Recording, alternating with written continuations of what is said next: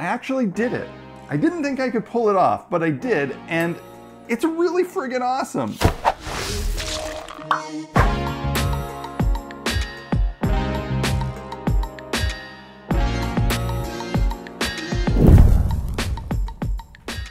Hey guys, welcome back to Black Magic Craft. As I'm sure you can imagine, I receive a lot of build requests, sometimes dozens in a day. And I kind of universally ignore all of them because I just build what I want to build. But every once in a while, one of them does get my attention. And one of the ones that really got my attention was this really cool idea from one of my Patreon supporters, Belinda from Melbourne, Australia. She sent me this, this amazing idea. This concept was so cool that I just had to do it. It was dripping with narrative and story and inspiration. I just, I really, really loved it and I knew I had to build it. And because Belinda has been such a long time Patreon supporter, I figured if I was gonna do a request, this would be the one to do. I'm gonna be honest, I was intimidated to do this build. The idea is simple enough. The embellishments are simple enough, but the actual shape was a little bit intimidating. This thing, this hull of this ship, is full of like compound curves. And to be honest, I wasn't sure how the heck I was gonna do it out of foam, so I avoided it for months and months and months. But I decided it was finally time to step up and get it done. And I did. And you know what? It was challenging. It was a little bit difficult to get this to a certain point, but I stuck with it and I did it and I pulled it off. And honestly, this is, in my opinion, one of the coolest things I've ever built on this channel. And I'm really proud of it. So let me show you how I actually went about building this thing.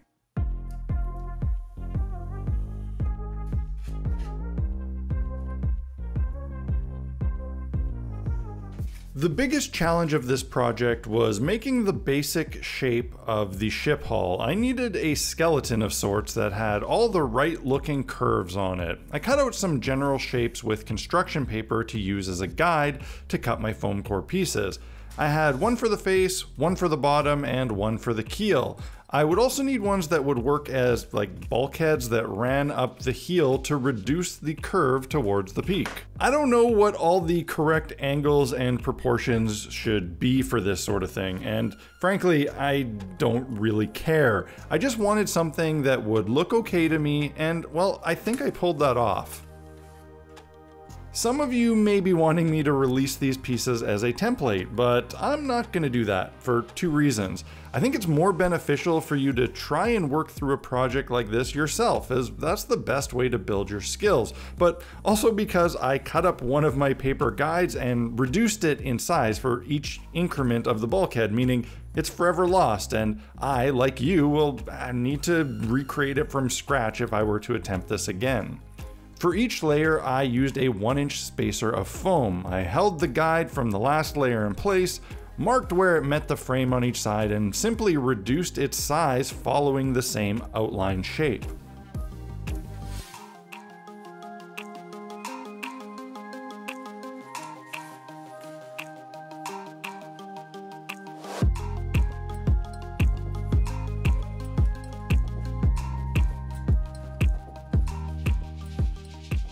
When I got to the very peak, I wanted a more solid chunk to glue my planks to, so I attached some half inch foam and simply carved it to shape using a handheld hot wire cutter. I made a keel piece out of XPS foam that I cut with my Proxxon and then carved with an X-Acto to look more like wood. I used my usual wire brush technique to create wood grain, as I would do for all the planks on this project. The keel was then attached to the spine of my frame. Before adding the hull planking, I made some thicker and wider strips that would act like the deck's railing. This would also give me a place to terminate both the hull planking and the deck planking later. With my borders in place, I got to work making all of the planks for the hull. I made these thicker than I would if I was gluing them to a flat surface because they needed to be strong enough to bridge the gap between each layer of my frame. Actually attaching them proved to be quite difficult. I used hot glue and pins to hold things in place until the glue cooled. My frame didn't leave me much of a surface to bond to, and this made it very challenging to hold the foam in place as it was under stress from bending. In the future, I would probably double the number of layers I have on my frame in order to make this part easier.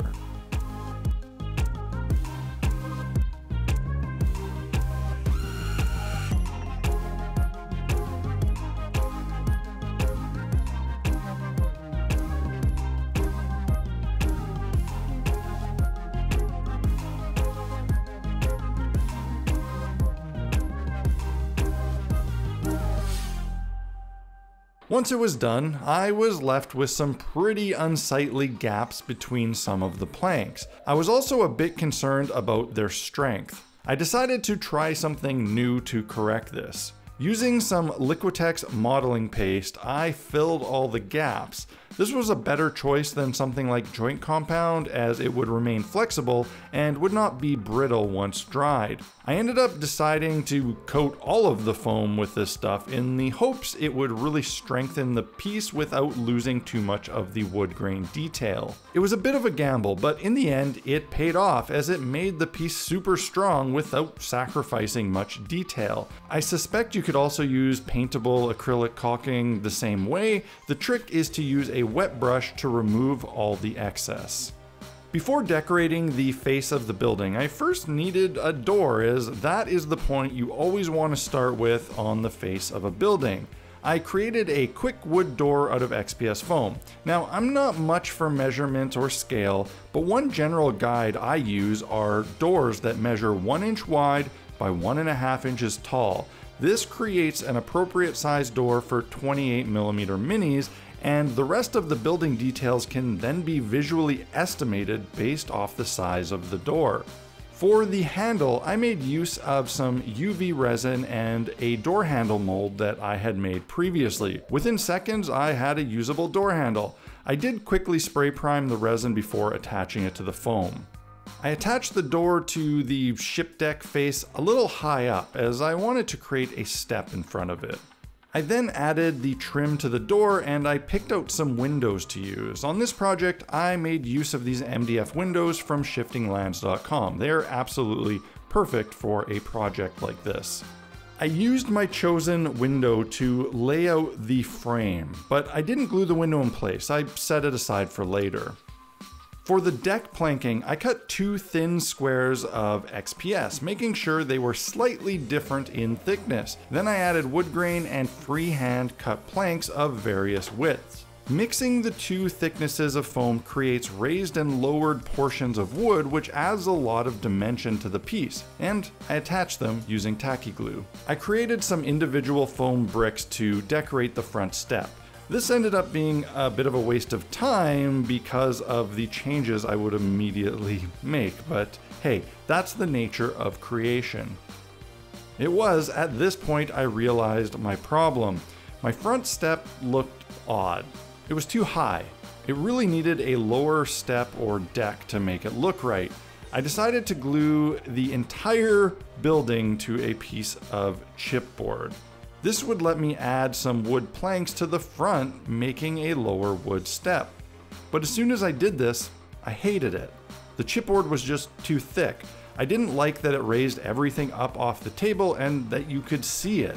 This simply would not do. So I pulled the whole thing apart and decided to try again using instead some regular construction paper. This was thin enough to not be visible and it allowed me to attach my lower planking. All right, hold up a second. I know exactly what you're thinking. I can hear the pitter patter of your keyboard all the way up here. Why am I going through all of this effort and trouble about getting a really thin base thing on this? Why didn't I just leave the chipboard and cut it big and then make a decorative base? Because That's what you do with tabletop terrain. That's what a lot of people do. Why didn't I do that? It's because I don't like that approach. It is not for me. It works very well at creating a stable, secure, protective base for terrain. Absolutely, 100%. But you have to decorate that base and you got to choose to put some sand on it or some grass or whatever. You have to actually do something to it. And then your piece is stuck in that little world. If I surround this by a sandy base, then it's going to look really odd if I put it on like a kind of more grassy tile. If I surround this thing in flocking or static grass, well, what if I want to place this on an iceberg? What if I want this hut to exist in-game in like the frozen north on an iceberg floating through the ocean? That would be a pretty cool use for this. If I had grass on it, it would look ridiculous. So that's why often I go through all this kind of extra effort and difficulty to avoid having a base on my pieces and definitely makes things harder, but it is an artistic choice for me. It's the way I like it, which is ironic. I realize the irony because when it comes to miniatures, I take the exact opposite approach. I absolutely take my minis and decorate them with flocking or sand or whatever that looks silly in different settings, but hey man, there's no rhyme or reason and no accounting for taste. It's just the way I like to do things. Unfortunately, it immediately caused another problem. The whole front step area would just be a floppy mess. Construction paper simply isn't rigid enough, nor is the foam or the combination of both of those things. I had to think of a quick solution that would allow me to retain all of the work I had already done. I needed something to stop this area from bending. I decided to cut some big chunks of half inch foam that I could place on top across the planking to add some strength. These chunks could become part of the build in a functional and decorative way by turning them into flower planters. These types of solutions are what I love about these builds and exactly why I like working free form. It was at this moment the little shack in my head was no longer being imagined as a fishing shack, but more as a proper little home that someone lived in, perhaps a merchant that sold their wares to the sea travelers who came to shore. With the build portion complete, I moved on to my Mod Podge coating before painting. When applying Mod Podge to wood grain details, I do not thin my mixture. I simply work with a wet brush and make sure I brush away any excess and brush with the grain when possible.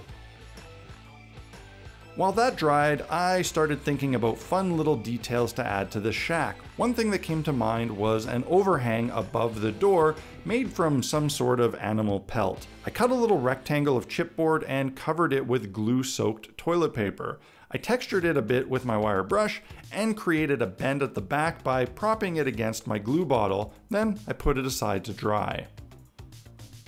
Once it was dry, I cut away the excess toilet paper and created some support pieces out of bamboo skewers. I didn't really like how square this thing looked and how sharp the corners were, so I decided to carve it into a more natural shape. This meant I needed to add another layer of toilet paper to cover the edges that I had just carved. The second time around, however, this thing was looking much better. Now for the paint. When I paint wood, I like to do so with a golden brown that has been very watered down over black. This combination, once dried, creates a great basis for weathered wood. This time around, I decided to use a khaki color instead, in the hopes that it would look more like driftwood, which I thought would better suit the theme of the project. I decided to paint the windows using the golden brown, however, as I wanted them to be distinctly different wood than the rest of it, so it didn't look like they came from the original shipwreck that this little cottage was built from. The ship also received a dry brushing of a very light tan to start to bring out some of the wood grain details. This was then followed by an application of my homemade washes. I did a mix of brown and black washes to try and introduce a bit of variety into the tones of the wood.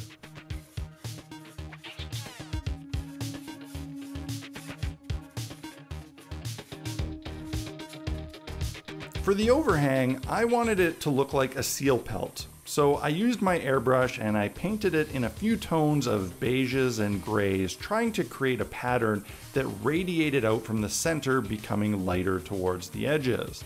I used a brush to add some small dots using a dark brown ink. It didn't turn out perfect, but it turned out pretty decent for the first time trying something like this. Once my wash was dry, I went back over it with another light tan dry brushing. This time I was very careful to keep this incredibly minimal. I used a big soft makeup brush from the dollar store here. These things are fantastic for this purpose. At this point, I started thinking about the windows again. I wanted to try something new here. There are so many ways to approach windows and I'm still trying to find the method that I like best. My idea was to paint out the window areas as if they were glowing from candlelight. Then I could put the windows back in place and hopefully create a nice effect. To do this, my windows needed glass. I again used the UV resin from greenstuffworld.com that I had reviewed in a previous video. I'm absolutely in love with this stuff for quick effects. Within seconds, I had cured resin and I could keep working. But I didn't quite like how my lighting effect looked. I thought it was too subtle, too beige. So I started it all over again, this time going with a much brighter orange. For the round window, I just glued it directly to the piece of paper that I had been using to test my spray. I can't say I love the final result of the color. It doesn't really look right, but I think the idea is good. It's just a matter of getting the paint behind them right. At first, I had glued the round window right to the surface of the wood, but I thought it looked kind of funny standing proud like that, so I carefully cut out the foam so I could recess the window, which made it look way, way better. Now back to the pelt. I sprayed it with gloss varnish so that I could add a brown wash. I really wanted the wash to get into the crevices, but I didn't want it to soak in and darken the whole thing, and the clear coat made this possible. After that, it was just a matter of super gluing it in place. Overall, this piece was looking a bit too uniform. I went back in with some Citadel washes and created some streaks and dark spots to give everything more variety, but most importantly, more depth. I paid extra attention to darken the areas that should have some shadow. I used some Vallejo texture paste to fill the planters with what would look like soil. Using a variety of static grass and flower tufts, I filled the planters using the Vallejo paste to act as the adhesive.